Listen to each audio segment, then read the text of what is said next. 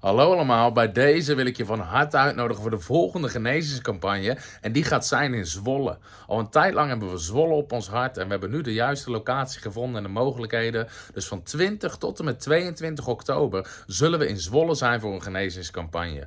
De Bijbel zegt dat Jezus hetzelfde is gisteren, vandaag en tot in eeuwigheid. En hij genas toen zieken en hij doet dat vandaag nog steeds.